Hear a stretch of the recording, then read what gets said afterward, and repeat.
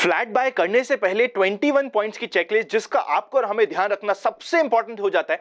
Detail में discuss करेंगे आज के इस वीडियो में। ये कोई नॉर्मल चेकलिस्ट नहीं होने वाली है, ऐसे कुछ यूनिक पॉइंटर्स आपको मिलने वाले हैं जो आपको लाइफ लॉन्ग लर्निंग होने वाले चाहे आपके प्रॉपर्टी में मतलब कि आप फ्लैट बाय कर रहे हो, चाहे आपका पर्पस हो इन्वेस्टमेंट का, या फिर आप खुद रहने के लिए बाय करें, इन 21 पॉइंट्स की चेकलिस्ट का ध्यान रखा तो कभी भी आपके साथ कोई भी धोखा नहीं होगा।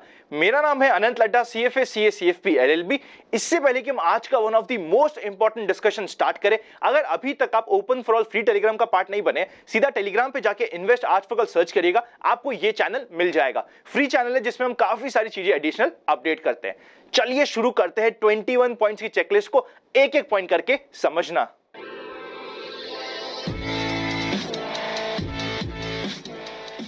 जब भी हम फ्लैट में इन्वेस्टमेंट करने का प्लान करें, सबसे पहला इंपॉर्टेंट पॉइंट होता है बिल्डर से रिलेटेड हमें मेक श्योर sure करना है, जो भी हमारा बिल्डर है, जिससे हम प्रॉपर्टी मतलब कि फ्लैट बाय करने वाले हैं, उसका रेरा पे रजिस्ट्रेशन होना कंपलसरी है। उसकी क्रेडिबिलिटी मार्केट में अच्छी होना ज़रूरी है। वो कोई जीएसटी डिफॉल्टर नहीं होना चाहिए। हमें हमारे बिल्डर के पास प्रोजेक्ट्स को चेक करना है पास प्रोजेक्ट्स में उसका कैसा एक्सपीरियंस रहा है, इन सारी चीज़ों को हमें मेक श्योर sure करना है। ये होता है फ़र्स्ट पॉइंट जो होता है बिल्डर से रिलेटेड अब चलते हैं सेकेंड पॉइंट की तरफ़।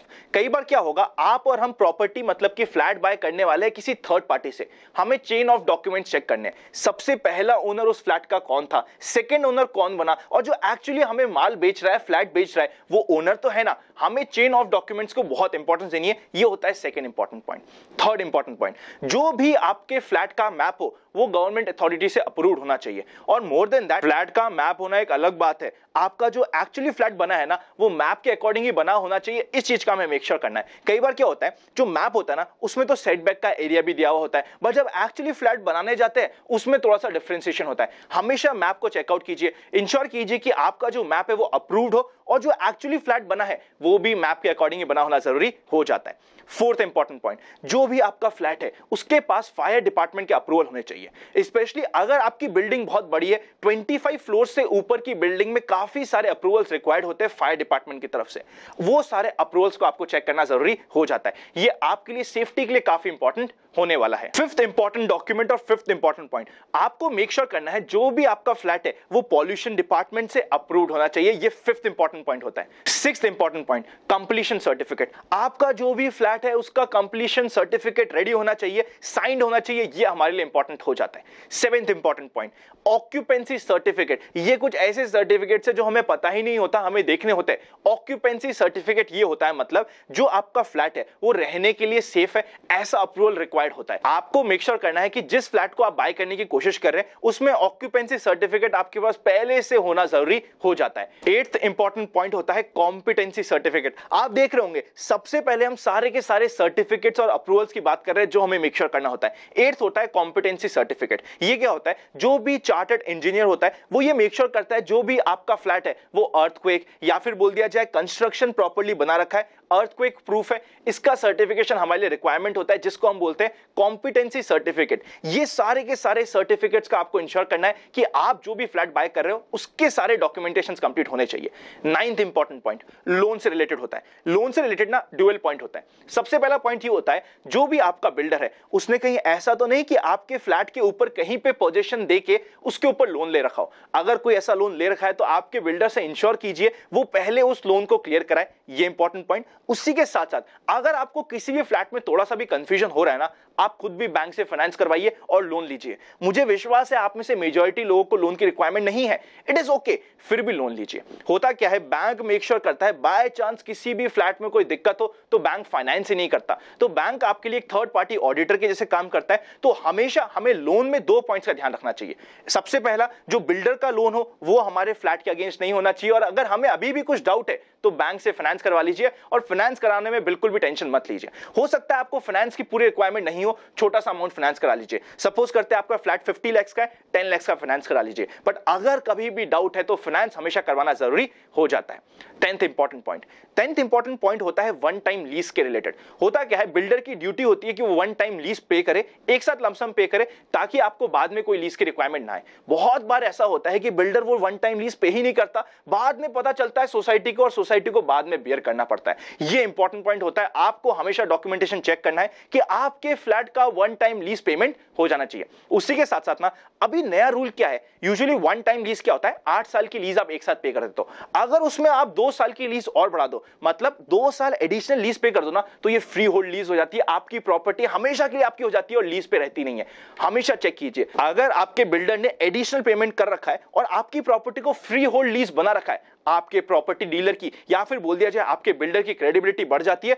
ऐसी नीयत वाले लोग ही हमें चाहिए जो अपने आप अपने आप इंश्योर करे कि आपको आगे कोई भी दिक्कत ना हो। इस चीज़ का मेक श्योर कीजिए। अभी तक के आपने पहले 10 पॉइंट चेकआउट कर लिए। ये सारे 10 पॉइंट थे मेनली रिलेटेड टू डॉक्यूमेंटेशन उसी के साथ साथ इंपॉर्टेंट थे कुछ अप्रूवल से रिलेटेड लोन से रिलेटेड जो हमें डॉक्यूमेंटेशन चेक करने होते हैं। अब चलते हैं आगे के ग्यारह पॉइंट की तरफ़। ये सारे ग्यारह पॉइंट होने वाले हैं फैसिलिटीज़ से रिलेटेड जिसे हम एक एक करके डिस्कस करेंगे। अब चलते हैं इलेवन पॉइंट की तरफ़। सबसे पहली फैसिलिटी जिसका हमें ध्यान रखना है, हमें मेक श्योर करना है जो भी हमारी सोसाइटी है जहाँ पे हम फ्लैट ले रहे हैं, वहाँ पे जिम पूल गार्डन टेंपल इन चारों की फैसिलिटी इन हाउस ही होनी चाहिए। कभी ना कभी आपको काफ़ी रिक्वायरमेंट होने वाली है। ये होता है इलेवेंथ पॉइंट सीधा चलते हैं ट्वेल्थ पॉइंट की तरफ़। विदाउट एक भी मिनट वेस्ट करते हुए ट्वेल्थ पॉइंट होता है कि आपकी जो भी प्रॉपर्टी है मतलब जो भी फ्लैट है जिसको आप बाय करना चाहते हैं, उसमें क्लब हाउस होना चाहिए। उसी के साथ साथ मिनी बाज़ार थोड़ा बहुत अगर अर्जेंसी में कुछ शॉपिंग करनी पड़ जाए तो मिनी मार्केट पास में होना चाहिए। ये चीज़ का हमें मेक श्योर करना है। सर्वेंट रूम की फैसिलिटी है या नहीं है, आपको इंश्योर करना है। ये इंपॉर्टेंट पॉइंट हो जाता है कुछ इंपॉर्टेंट फैसिलिटी से रिलेटेड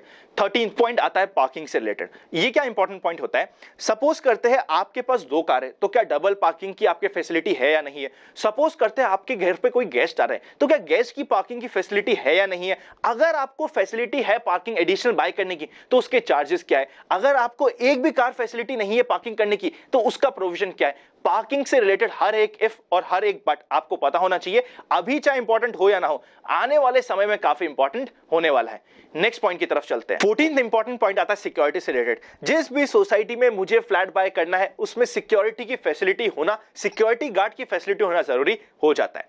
फिफ्टीन पॉइंट इलेक्ट्रिसिटी जब भी हम किसी भी सोसाइटी में बाय करते हैं ना फ्लैट दो ऑप्शन आते हैं। सबसे पहला कि आपको अपना सेपरेट इलेक्ट्रिसिटी का कनेक्शन मिलेगा, जो बेस्ट हो जाता है। हमें यही इंश्योर करना है कि सेपरेट इलेक्ट्रिसिटी कनेक्शन होना ज़रूरी हो जाता है।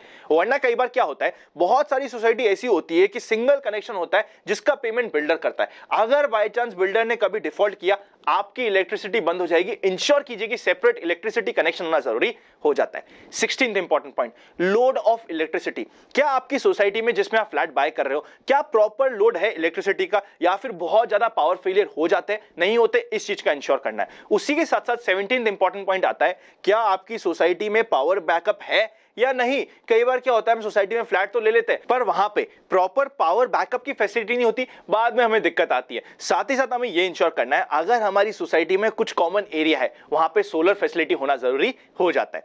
चलते हैं नेक्स्ट पॉइंट की तरफ़, जो एटीन पॉइंट होने वाला है वाटर से रिलेटेड हमारी सोसाइटी में सबसे पहला important point proper water treatment plant लगा हुआ है या नहीं? अगर प्रॉपर वाटर ट्रीटमेंट नहीं हुआ ना, चाहे आप यूज़ करो डिपार्टमेंट का वाटर या फिर आप यूज़ करो ग्राउंड वाटर जो आपको याद होगा ना, आपकी बाथरूम फिटिंग्स में कुछ कालापन आ जाता है, कुछ खराब हो जाती है। उसका सबसे मेन कारण यही होता है कि वहाँ पे प्रॉपर ट्रीटमेंट नहीं होता। हमें इंश्योर करना है एटलीस्ट हमारे फ्लैट में तो हमें प्रॉपर वाटर ट्रीटमेंट होना ज़रूरी हो जाता है। उसी के साथ साथ अगर हम ग्राउंड वाटर भी यूज़ करें ना, तब भी प्रॉपर वाटर ट्रीटमेंट के ऊपर इंपॉर्टेंस देना ज़रूरी हो जाता है। नाइनटीन इंपॉर्टेंट पॉइंट ये होता है कि हमारे जो भी फ्लैट बाय करें सोसाइटी में, वहाँ पे प्रेशर रिड्यूसिंग वॉल की फैसिलिटी होना चाहिए। कई बार क्या दिक्कत होती है, पच्चीस फ्लोर की सपोज़ करते बिल्डिंग है जहाँ पे हमने फ़र्स्ट फ्लोर पे लिया है कोई फ्लैट क्या होता है, ऊपर के दो तीन फ्लोर में तो बड़ा ही मज़ेदार पानी आता है। ऐसा लगता है कि यार मज़े ही आ गए। नीचे के फ्लोर पे पानी तो छोड़ो, बूंदे आती है, फिर हमें ही मशक्कत करनी पड़ती है भागा दौड़ी करनी पड़ती है और दिक्कत होती है। प्रेशर रिड्यूसिंग वॉल होना चाहिए। उसी के साथ साथ सेपरेट कनेक्शन की फैसिलिटी भी होनी चाहिए। ऐसा ना हो कि बाय चांस कोई ट्वेंटी फ्लोर पर रहने वाला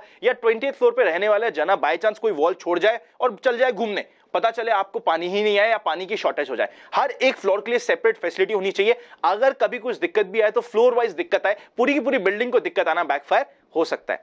Twenty important point proper fire fighting system होना चाहिए। स्पेशली अगर आपकी ऐसी बिल्डिंग में आप फ्लैट ले रहे हैं जिसकी 50 फ्लोर से ज़्यादा की बिल्डिंग है वहाँ पे स्टिल्ट हाउस है या नहीं है। कंपलसरी होता है आपकी बिल्डिंग में स्टिल्ट हाउस होना। अगर आपकी बिल्डिंग 50 फ्लोर से ऊपर की है मतलब ये क्या होता है? सपोज़ करते हैं दस फ्लोर के बाद एक सिंगल फ्लोर आ जाता है जहाँ पे कोई भी कंस्ट्रक्शन नहीं होता। इसको हम पार्टी हाउस के ऐसे भी यूज़ करते हैं ज़रूरत पड़ती है तो, तो स्टिल्ट हाउस आपकी सोसाइटी में या जहाँ पे आप फ्लैट बाय कर रहे हैं वहाँ पे है या नहीं, इस चीज़ का हमें मेक श्योर sure करना चाहिए। फायर फाइटिंग सिस्टम बहुत इंपॉर्टेंट हो जाता है। वर्ल्ड ट्रेड सेंटर में भी जो डिस्ट्रक्शन हुआ था मेन कारण यह था कि वहाँ पे प्रॉपर फायर फाइटिंग सिस्टम नहीं थे। हमें इंश्योर करना है कि हमारी building properly fire fighting proof होनी चाहिए। लास्ट इंपॉर्टेंट पॉइंट बहुत सारे पॉइंट डिस्कस कर चुके हैं। इसकी आपको चेकलिस्ट बनाना ज़रूरी हो जाता है और टिक मार्क करते जाएगा जैसे जैसे आप पॉइंट को यूज़ करें। लास्ट इंपॉर्टेंट पॉइंट होता है एसी की फैसिलिटी का क्या प्रॉपर प्रोविज़न है या नहीं है? कई बार क्या होता है, बहुत सारे फ्लैट्स में एसी का प्रोविज़न ही नहीं होता। और हमारी जो बालकनी होती है, उसमें एसी का पानी टपकता रहता है। पूरी की पूरी बालकनी हमारी वेस्ट हो जाती है। हमेशा इंश्योर कीजिए प्रॉपर एसी लगाने के लिए फैसिलिटी और शाफ्ट होना ज़रूरी हो जाता है, जो सभी के लिए बहुत इंपॉर्टेंट होता है। ये हो जाते हैं ट्वेंटी पॉइंट जिसका आपको ध्यान रखना बहुत ज़रूरी होता है, कभी भी फ्लैट बाय करने से पहले। उसी के साथ साथ, इससे पहले कि हम वीडियो क्लोज करें, अगर ये वीडियो अच्छा लगे तो लाइक करे बिना मत जाएगा आपके लाइक से मिलता है मोटिवेशन अगर अभी तक आपके पास डीमैट नहीं है तो डिस्क्रिप्शन में demat account open links private channel पर जुड़ने का प्रोसेस वरना लगे यूजफुल तो ज्वाइन बटन मेंबरशिप भी मिल जाएगी। नीचे आपको डिस्क्रिप्शन में हर एक लिंक मिलने वाला है। अगर आप चाहते हैं कि हमारी टीम आपके म्यूचुअल फंड में इंश्योरेंस में या किसी भी चीज़ में हेल्प करे, हर एक लिंक हर एक चीज़ आपको डिस्क्रिप्शन में मिल जाएँगे। सिर्फ़ जो लिंक और जो नंबर आपको डिस्क्रिप्शन में मिले, उसे ही यूज़ करना ज़रूरी होता है। अननेसेसरी आप किसी गलत कमेंट के चक्कर में मत पड़ जाएगा। सारे के सारे ऑफिशियल लिंक आपको डिस्क्रिप्शन में मिलने वाले लाइक करे बिना मत जाएगा। ये वीडियो ना सिर्फ़ आप ही की डिमांड पे आया है। मिलेंगे नेक्स्ट वीडियो में, तब तक हैप्पी इन्वेस्टिंग और इस 21 पॉइंट्स की लिस्ट को 21 पॉइंट्स के क्राइटेरिया को ध्यान रखिएगा। मेरा यहाँ पे प्रोसेस है, मेरा यहाँ पे रूल है कि आऊँ, आपके पास सिंपल प्रोसेस बना के प्रेजेंट कर दूँ, जिसको आप आराम से यूज़ कर पाए, ऐसा ही ये प्रोसेस होने वाला है। Happy investing and I will see you very soon